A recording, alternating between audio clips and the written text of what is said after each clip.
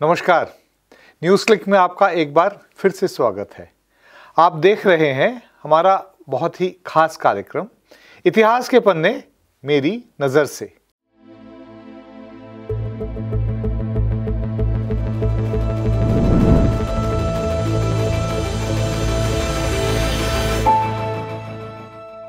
लेकिन हम लोग अक्सर आजकल कर रहे हैं कि सिर्फ़ मेरी नज़र नहीं रहती है, मैं बल्कि गाइड करता हूँ किसी विशेषज्ञ को उसके साथ नज़र रखने के लिए। तो आज मेरे साथ तनुजा कोठियाल जी हैं, जो अंबेडकर यूनिवर्सिटी में इतिहासकार हैं। मिडेवल हिस्ट्री के बहुत मशहूर जानकार और एक्सपर्ट हैं। हम बात करेंगे, अभी प्रोवोकेशन है वाराणसी में। जी हाँ मैं वाराणसी बोलता हूँ। हालाँकि आमतौर पे लोग बातचीत पे काशी बोलते हैं, लेकिन काशी विश्वनाथ टेंपल कॉरिडोर में उसके इनाग्रेशन के समय मोदी जी ने जो हमारे प्रधानमंत्री हैं, अपने भाषण में कहा था कि जब जब इतिहास में औरंगज़ेब आया है तो उसके जवाब में शिवाजी खड़ा हुआ है। जब जब कोई और आया है तो हमारे हिंदुओं की तरफ़ से भी कोई राजा खड़े हुए हैं। ये एक स्ट्रेट मिडेवल हिस्ट्री जो हमारा एक बहुत इंपॉर्टेंट पीरियड है हिंदुस्तान की राजनीति में, उसको स्ट्रेट बाइनरी में ढालने का। कि इस्लामिक पीरियड है। ये नहीं देखना कि इस्लाम बहुत सेंचुरी से हिंदुस्तान में अलग अलग तीन रूट से आए ट्रेड के रूट से आए, सबसे पहले दक्षिण भारत में आए, फिर रूलर्स लेके आए और फिर फाइनली बहुत महत्वपूर्ण है। एक सूफी ट्रेडिशन भी एक किस्म का इस्लाम लेके आया। इन सब चीज़ों के बात नहीं होती है। बस ये होता है कि जैसे कि तनुजा जी और हम लोग बात कर रहे थे थोड़ी देर पहले कि या तो अलाउद्दीन खिलजी थे या उसके बाद स्ट्रेट अवे औरंगज़ेब आ जाते हैं। और इसमें भी हम सिर्फ़ उनको उसी ढांचे में डालते हैं कि ये लोग आए, हमारे हिंदुओं के मस्जिद हिंदुओं के मंदिर तोड़ दिए और अपने मस्जिद बना दिए। एक तरह से अपना धर्म को आके हमारे समाज पे, हमारे हिंदू समाज पे थोप दिया। और अब हमारी बारी है इसको रिडीम करने की। हमारे जो मंदिर थे उनको, उनके रेस्टोरेशन के लिए हम कैंपेन करेंगे। पिछले 35 साल से ये कैंपेन चलता आ रहा है। राम जन्मभूमि के कंधे पे ये आंदोलन चला है। और आज के हिंदुस्तान में जो भी मुद्दा, जो भी डिविसिव मुद्दा है, उसके बुनियाद में अगर हम जाएँ तो कहीं ना कहीं हमको राम जन्मभूमि मूवमेंट या उसका जो आंदोलन था, उसके जड़ में वो हम पाएँगे। तनुजा जी के साथ हम बात करेंगे, जिस प्रधानमंत्री ने जिस सहजता के साथ औरंगज़ेब को हिंदुत्व ताकतों के मोस्ट विलेनस कैरेक्टर के तौर पे पुनः एक बार पोर्ट्रे किया। जो पॉपुलर, जो इंप्रेशन जो औरंगज़ेब के बारे में जो फैलाया जाता है, जो पॉपुलराइज किया जाता है, वो शायद आप लोगों को जो इतिहासकार हैं, जिन्होंने सीरियस स्टडी की है औरंगज़ेब के, उससे आपको काफ़ी डिफ्रेंशिएट करके आप देखते होंगे। तो अगर हम स्ट्रेट अवे आपको ये पूछें कि औरंगज़ेब वास्तव में क्या थे? ना वो विलेन थे और ना ही वो कोई सेक्युलर हीरो थे। शायद बीच के ग्रे एरिया में एग्जिस्ट करते हैं औरंगज़ेब और उसी को समझने की ज़रूरत है। तो आपकी मदद के साथ मैं खुद और हमारे श्रोताओं को मैं समझाना चाहता हूँ। जी धन्यवाद। ये जो आपका जो सवाल है उसको कुछ लेवल पे मैं जिस तरह से हम क्लासरूम में बच्चों से बात करते हैं मैं वहाँ पर भी ले जाना चाहती हूँ। तो पहली बात यह है कि जो हिंदुस्तान का जो इतिहास है जिस हिसाब से उसको हम तीन भागों में बांट के पढ़ते हैं स्कूलों में भी पढ़ाते हैं ancient history medieval history modern history तो उसका जो एक पुराना रूप था उसमें हम्म। अक्सर ये जो समीकरण इस तरह से बिठाया जाता था कि एंशियंट इतिहास जो था वो हिंदू काल का इतिहास था। जो मध्यकालीन इतिहास था वो मुस्लिम काल का इतिहास था और उसके बाद अंग्रेज़ आ जाते उसके बाद अंग्रेज़ आ गए और अंग्रेज़ जो हैं वो भारतीय समाज को आधुनिकता की तरफ़ ले गए प्रोग्रेस की तरफ़ ले गए।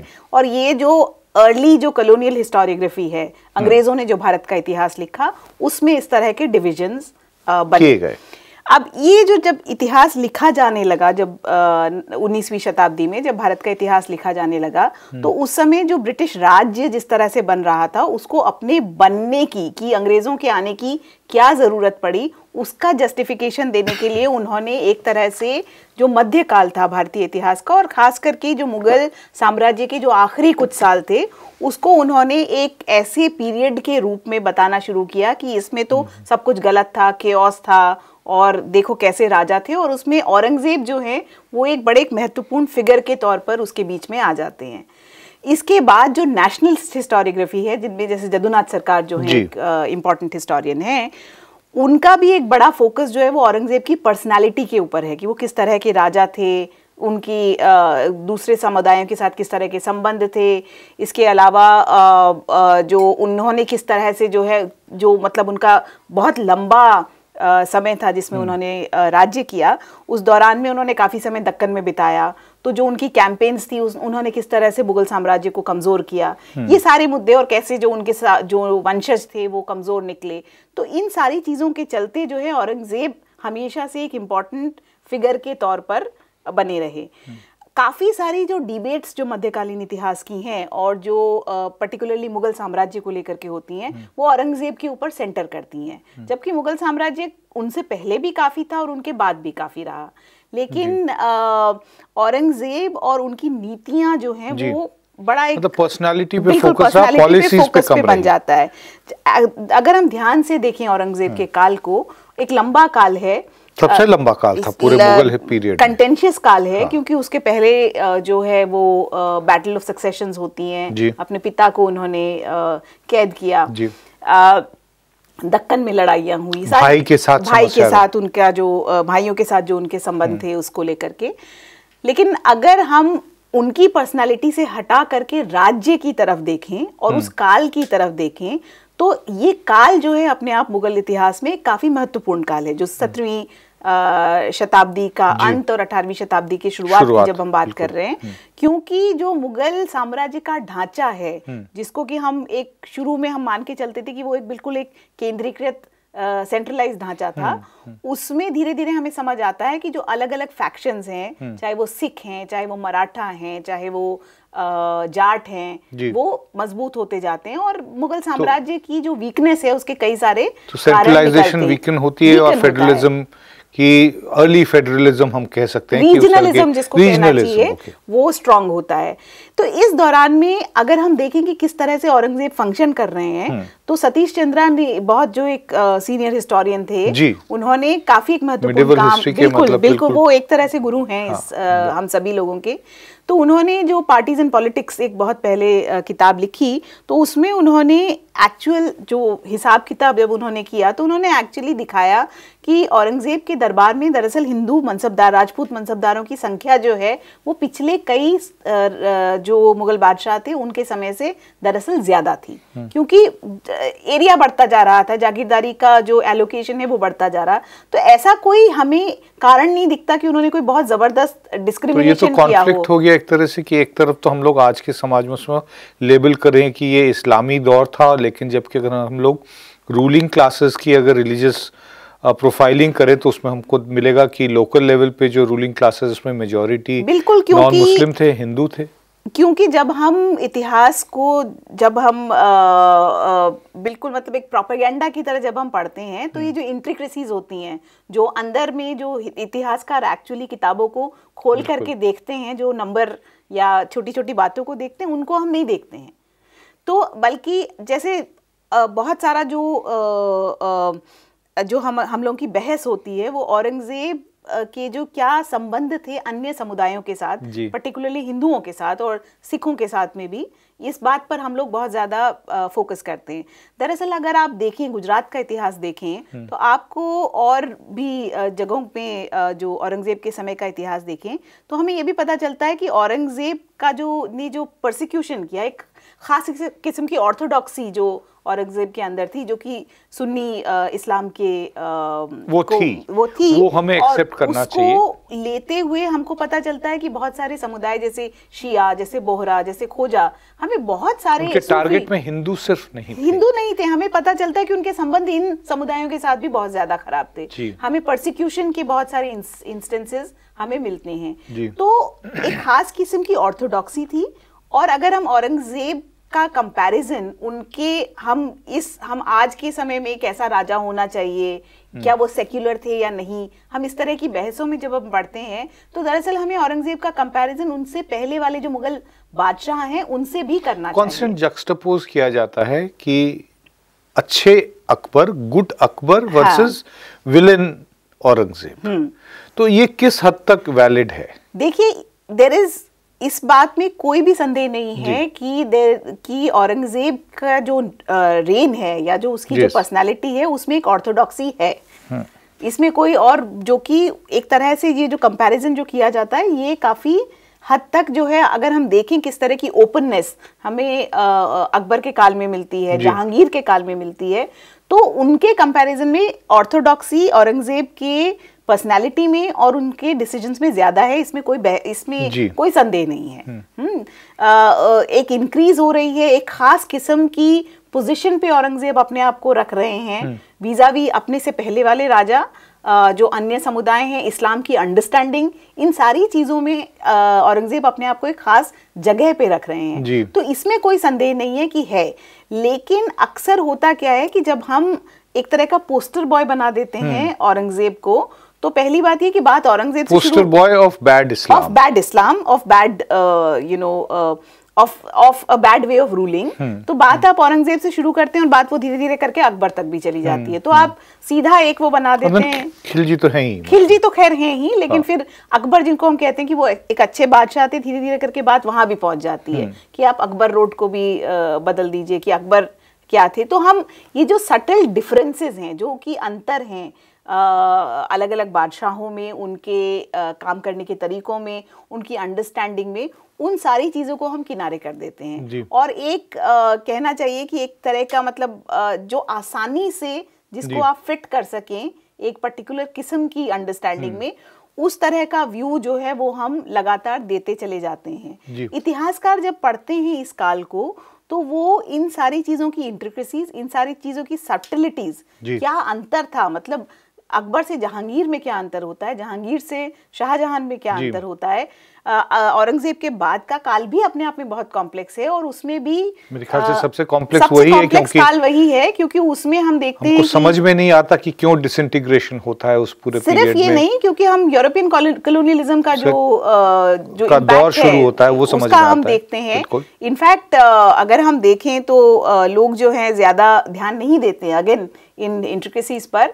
पर औरंगज़ेब का काल जो है वो जिसको कि हम चाइल्ड्स वॉर कहते हैं वो मतलब वो एक अकेला एक ऐसा बादशाह है जिसने अंग्रेज़ सेना को एक्चुअली पराजित किया। तो ये चीज़ें जो है क्योंकि हमको कन्वीनियंट नहीं लगती हैं इसलिए हम इनका ज़िक्र नहीं करते हैं। अक्सर हम मानते हैं कि इतिहास जो है वो सबके बस का आ, खेल है। जी मैं याद करता हूँ मैं मतलब आपको सुनते हुए मैं अपने स्कूल के दिनों में हाँ. अपने इतिहास के क्लासेस को याद कर रहा था और क्या समझे थे तो उस समय तो एक इम्प्रेशन प्रेजुडिस का जो मुसलमानों के प्रति जो प्रेजुडिस है जो हमेशा से रहा है आ, उस फ्रेम में औरंगज़ेब को फिट किया जाता था हाँ। आ, पिछले पैंतीस छत्तीस सालों से ख़ासतौर से जिस पीरियड में हिंदुस्तान में कम्युनलिज्म एक बहुत बड़ा मुद्दा बन के आया। मेरा पर्सनल एंगेजमेंट राम जन्मभूमि आंदोलन और इससे जुड़े हुए और संघ परिवार का जो इतना बड़ा विस्तार हुआ जो हमको देखने को मिला जिसकी वजह से आज हिंदुस्तान की रा, राजनीति का जो बेसिक जो मूल इवोल्यूशन हुआ है रिकॉन्फ़िगरेशन जो हुआ है इसके पीछे शुरुआत होती है वाराणसी से ख़त्म होती है मथुरा से। पूरा का पूरा जो और और सोमनाथ तो है ही। सोमनाथ का तो रेक्टिफिकेशन हो गया। वो तो सरदार पटेल ने वहाँ पे कर दिया। तो वो वो एक क्लोज्ड चैप्टर है। लेकिन ये अभी भी लाइव चैप्टर है। Varanasi to Mathura that's long corridor बीच में अयोध्या था। अयोध्या हैज़ बीन रिजॉल्व वहाँ राम मंदिर बन रहा है। ठीक टैक्टिकली दिसंबर 23 में लोकसभा अगले चुनाव के ठीक कुछ महीने पहले उसमें श्रद्धालुओं की एंट्री शुरू हो जाएगी। यहाँ पे अभी प्लेसेस ऑफ़ वर्शिप एक्ट पे भी अटैक्स शुरू हो गए। तो औरंगज़ेब को ये जो कॉरिडोर है टेंपल मॉस्क कॉरिडोर इसमें हमको समझना ज़रूरी है इस कॉरिडोर में घुसना हमको बहुत ज़रूरी है। क्योंकि हम औरंगज़ेब को अगर हम विलेनसली प्रोटे मतलब पोर्ट्रे करें जैसा कि हिंदुत्व की ताकतें कर रहे हैं तो हमको उसी तरह से उसके कॉन्ट्ररी जो सेकुलर नैरेटिव है उसमें हमको औरंगज़ेब को सेकुलराइज शायद नहीं करना चाहिए या नहीं किया जा सकता है। तो राइट right पर्सपेक्टिव इस जो सबसे हिंदुस्तान के जो कंटेंशियस इशू है इसमें हम लोग औरंगज़ेब को कैसे आप फिट करते हैं? या आ, कैसे समझाएँगे? हाँ इसको करने के लिए फिर से मैं थोड़ा सा औरंगज़ेब को डिसेंटर करना चाहती हूँ क्योंकि हम हमेशा बात जो है घुमा शुरू वहीं से होती है वहीं हाँ, खत्म होती है। हम वही बात कर रहे थे कि पर्सनालिटी से ज़्यादा पॉलिसी एक लॉन्ग टर्म हाँ। एक जो जिसको कहना चाहिए एक लॉन्ग टर्म पर्सपेक्टिव है उसकी ज़रूरत हमें है। उठाया जाता है अक्सर ये हमको सुनने को मिलता है इस पत्रकार हाँ। कि साहब इन्होंने तो हमारी मंदिर तोड़ के वहाँ ज्ञानवापी मस्जिद बना दी और यहाँ पे हमारी कृष्ण में की जन्मभूमि जन्म स्थान को तोड़ के यहाँ पे अपनी ईदगाह खड़ी कर दी। हाँ इस बारे में दो तीन बातों को मैं कहना चाहती हूँ। पहली बात ये कि बहुत सारे समाज सिर्फ़ हमारा ही नहीं बहुत सारे देशों समाजों में जो जहाँ पे बहुत सारे समुदाय रहते हैं इतिहास जो होता है वो कॉन्फ्लिक्ट रिडन होता है। कुछ ना कुछ समस्याएँ हाँ, मेरे ख्याल से कोई ऐसा समाज नहीं है जहाँ पे कॉन्फ्लिक्ट है। और हम सभी को अगर आ, मतलब लोग जो हैं इतिहास को लेकर के एक आ, आ, उस उस कॉन्फ्लिक्ट में इतिहास को प्लेस करने की कोशिश करते हैं और उसको आज के संदर्भ में इतिहास को बीच में ला करके और उसको आ, उस कॉन्फ्लिक्ट को लेकर के उसको बढ़ाना चाहते हैं या सॉल्व करना चाहते हैं। आ, तो पहली बात ये है कि मुझे एज एज ए हिस्टोरियन अगर मैं ट्रेस करती हूँ और टेंपल डिसेक्रेशन और टेंपल डिस्ट्रक्शन जो है वो भारतीय इतिहास में एक बड़ा मुद्दा रहा है। लेकिन इसकी जो अगर हम जड़ें देखें या अगर हम्म। हम इसका इतिहास देखें तो इसका इतिहास सोमनाथ से बहुत पहले से बिल्कुल। हम्म, अगर हम जो जो जो अर्ली मिडिवल इंडिया जिसे कहते हैं हम्म। हम ट्राइपार्टाइट वॉरफेयर तक भी जाते हैं तो हमें हम देखते हैं कि क्योंकि जो मंदिर जो पूजा के स्थान थे वो एक तरह से पॉलिटिकल पावर और उसके अलावा फाइनेंशियल पावर के सेंटर्स थे। वेल्थ सेंटर्स थे। तो अक्सर जो है जब एक राजा दूसरे राजा को हराते थे चाहे वो हिंदू तो, राजा तो, ही क्यों ना तो, हो वो कभी वहाँ से मूर्ति ले जाते थे और मूर्ति ले जाकर के अपने राजधानी में लगा देते थे। क्योंकि इससे ये साबित होता था कि हमने उनको हराया। कभी वो उनके मंदिर में अपने डेटी की मूर्ति लगा देते थे। तो ये एक पर अपनी हेजेमनी एस्टैब्लिश करने का सिंबल हाँ। हो जाता वही इसी कारण से शायद इंग्लैंड में भी आपको अलग अलग जगह हमारे ट्रेजर्स मिलेंगे देखने बिल्कुल। तो अब ये जब हम देखते हैं कि इस लंबे इतिहास को देखते हैं तो दरअसल जो जिस तरह से हम मध्यकाल की जो घटनाएँ हैं जो टेंपल डिसेक्रेशन की या टेंपल डिस्ट्रक्शन की जो घटनाएँ हैं अगर हम उनको उसके एक लंबे इतिहास के तौर पर देखें तो वो ऐड करती हैं। जो पहले घटनाएँ हुई उनके साथ में वो जुड़ जाती हैं। हम्म। ये कोई नई बात नहीं थी पहले से होती आ रही थी और आगे के समय में भी हुई। दूसरी बात यह है कि इसमें कोई दो राय नहीं है। कि टेंपल डिसिक्रेशन और टेंपल डिस्ट्रक्शन मध्यकाल में भी हुआ। जिस हम्म। तरह से टेंपल कंस्ट्रक्शन भी हुआ। लेकिन वो स्टेट पॉलिसी के तहत हुआ या नहीं हुआ? स्टेट पॉलिसी के तहत आमतौर पे वो इन्वेजन में या जो मतलब विक्ट्री का जो हम्म। हिस्सा था उसके तौर पर वो हुआ। धर्म का प्रचार करने के लिए हुआ धर्म का प्रचार करने के लिए इतना नहीं जब जितना की अपनी आप अपनी जो विजय है हाँ, उसको एस्टेब्लिश करने। के लिए आमतौर पर हुआ। दूसरा हम ये देखते हैं कि पर्टिकुलरली जब हम मुगल काल में आते हैं तो आ, आ, जो मतलब जो संख्याएँ जिस तरह की हम देखते हैं कि कितने टेम्पल्स का डिसेक्रेशन हुआ या कितने टेम्पल्स का डिस्ट्रक्शन हुआ ये एक बड़ी संख्या है। हम्म। आ, लेकिन अक्सर जो है हम इसके साथ साथ में हमें ये भी देखना चाहिए कि आ, कितने मंदिरों का निर्माण इस काल में साथ में हो रहा था कितनी पेट्रनेज जो है जैसे वैष्णव जो संप्रदाय है अगर हम देखें कि मुगल बादशाहों की जो पेट्रनेज थी चाहे वो मथुरा में हो चाहे वो ब्रज एरिया में हो चाहे वो अन्य समुदाय अन्य जगहों में हो एक ज़बरदस्त पेट्रनेज जो है इन आ, इन मंदिरों के प्रति भी साथ में होती थी। तो ये एक तरह से गिव एंड टेक जो है एक तरह से वो चलता रहता था। हम्म। मुगल काल में हुआ और औरंगज़ेब के समय में भी पेट्रोनेज मिला उनको? औरंगज़ेब के समय में भी कुछ पेट्रोनेज जिन जगहों में चलता रहा था उन जगहों हम्म। में चलता रहा।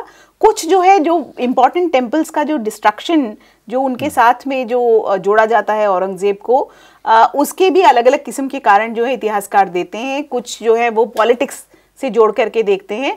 हालाँकि ये आ, मान ये हमें समझना चाहिए कि दो समुदायों के बीच में जो डिफ़िकल्ट रिलेशनशिप हिंदू और मुसलमान के बीच में वो आ, वो उस काल में भी थी और ये हमें समझना चाहिए कि औरंगज़ेब को ये ना समझ आया हो कि इसका एक जो है इम्पैक्ट हम्म। समुदायों के आपसी रिलेशंस पर पड़ता है आ, ये कहना जो है थोड़ा सा मतलब it is difficult to believe it is difficult to believe कि। औरंगज़ेब को ये नहीं समझ आ रहा है कि इतना मतलब अगर हम इस it is causing it is causing further जो है फर्दर डिस्टेंसिंग एग्जैक्टली कि ये सिर्फ़ एक पॉलिटिकल मूव है ये कहना थोड़ा सा हाँ. uh, uh, मतलब it is it is difficult to believe लेकिन हालाँकि लेकिन ये uh, इतिहास के शिक्षक के तौर पर हम्म। जो मैं कह सकती हूँ वो ये है कि जब हम आज के समय में जो घटनाएँ जो पहले हुई हैं उनको रेक्टिफाई करने की कोशिश करते हैं हम्म। कि हम दोबारा बनाएँगे या कुछ करेंगे। तो इतिहास का एक खास मकसद होता है उस एक पर्पज होता है जो घटनाएँ पास्ट में हो गई उनको समझने के लिए। कोई एक कट ऑफ़ पॉइंट तो होना चाहिए हाँ, कि जिसके पीछे अब हम, हम उसको नहीं आज, जाएँगे। हाँ क्योंकि जो मुद्दे जो हैं इतिहास जो इतिहास जो है आज के समय में पर्टिकुलरली मध्यकालीन इतिहास बहुत महत्वपूर्ण हो गया है। अगर आप देखें मीडिया सबसे ज़्यादा कॉन्टेस्टेड हो गया सबसे ज़्यादा उसी के बारे में उसी के बारे बगैर पढ़े बगैर समझे हर एक का एक ओपिनियन है उस पर सब सब चाहे वो सोशल मीडिया है चाहे वो टेलीविज़न है दुनिया का सोशल मीडिया सबसे बड़ा यूनिवर्सिटी बिल्कुल उसमें सबसे ज़्यादा बात जो है आज से 20 साल पहले 30 साल पहले जो है जो भी था जो एक सोशल मीडिया तो नहीं था उस समय में कलोनियलिज्म हमारे लिए एक बड़ा इंपॉर्टेंट मुद्दा था। हम कुछ साल पहले आज़ाद हुए थे। जी। हम्म, तो स्कूल के बच्चों को या कॉलेज में हमारे लिए एक बड़ा मुद्दा था कि हम गुलाम थे और आज हम आज़ाद हो गए। जी। हम्म, आज के समय में मैं देखती हूँ तो कि गुलामी का पीरियड भी बढ़ गया मतलब बारह सौ साल का की गुलामी का उस गुलामी को जिसको हम गुलामी जिसको दरअसल कहना चाहिए जो कलोनियलिज्म है हाँ। हम उसके बारे में अब बात ही नहीं उसको तो हम मॉडर्नाइजेशन का हाँ, दौर मानते हैं कि हम बिल्कुल उसके बारे में हम बात नहीं करते हैं उस उस पीरियड के बारे में हम बात नहीं करते हैं। उसको लेकर के अब हमारी अलग अलग किस्म की थ्योरीज हैं। उसके रिप्रेजेंटेटिव शायद हमारे समाज में आज है नहीं। अब रिप्रेजेंटेटिव उसके समाज हमारे समाज में है नहीं अब आप मतलब आप क्या करेंगे? ब्रिटिश स्टेट आज तो मतलब हिंदुस्तान में एक सर्टेन परसेंटेज ऑफ़ मुसलमान दिखते हैं तो वो उनके रिप्रेजेंटेटिव हो गए। बिल्कुल। तो चुनाव जीतने के लिए हम जो दूसरे जो कम्युनिटी है हिंदू कम्युनिटी उसमें से अपने सपोर्ट को इंक्रीज करने का हमको एक तरीका दिखता है कि हम उसको विलीफाई करें बिल्कुल तो उस आ, उस संदर्भ में मुझे ऐसा लगता है कि आ, हम जो हम बच्चों को भी क्लास में कहते हैं कि कोई भी सवाल जो है वो अपने आप नेचुरली नहीं उठता। तो किस समय में कौन सा सवाल ज़रूरी हो जाता है? हम इतनी ज़्यादा बात मध्यकाल की क्यों करते हैं आज के समय में? हम अकबर के बारे में, राणा प्रताप के बारे में, शिवाजी के बारे में इतनी ज़्यादा जो है आज हमारे समय के लिए ये इतने इंपॉर्टेंट हीरोज़ क्यों हो गए हैं? ये सोचना जो है इतिहास के छात्रों के लिए या जो लोग इतिहास में क्लेम करते हैं कि वो समझने की कोशिश कर रहे हैं। उनको, उनके लिए ये ज़रूरी है कि वो ये समझने की कोशिश करें कि मध्यकाल आज के समय में हमारे लिए ज़रूरी क्यों हो गया है। तो जी, आपने मतलब बहुत ही एक एक इंपॉर्टेंट पॉइंट पे आके आपने इस अपनी बात को कंक्लूड किया कि समझना बहुत ज़रूरी हो गया आज की तारीख में कि ये सवाल अब इतनी तेज़ी से क्यों उठाया जा रहा है। मेरे ख्याल से औरंगज़ेब के बारे में आपने जिस तरह से समझाया कि हमको मल्टी लेयर्ड तरीके से देखना पड़ेगा ब्लैक और वाइट में नहीं लेकिन उनके ग्रे एरियाज़ को समझना पड़ेगा। तो हम हमारे साथ आके इस कार्यक्रम में बातचीत करने के लिए बहुत बहुत धन्यवाद और मैं उम्मीद करता हूँ कि ये ग्रे एरियाज़ और ये जो सवाल क्यों उठाया जा रहा है सिर्फ़ सवाल से नहीं जूझना लेकिन उस सवाल से जुड़े हुए कि ये सवाल आज क्यों ये क्यों बोला जा रहा है काशी विश्वनाथ टेंपल कॉरिडोर के इनाग्रल में कि औरंगज़ेब, शिवाजी इस तरह के क्यों जक्स्टपोजिशंस हो रहे हैं? आप सोचिए इसके बारे में। आपको जवाब ज़रूर मिलेगा। ये कार्यक्रम देखने के लिए बहुत बहुत धन्यवाद।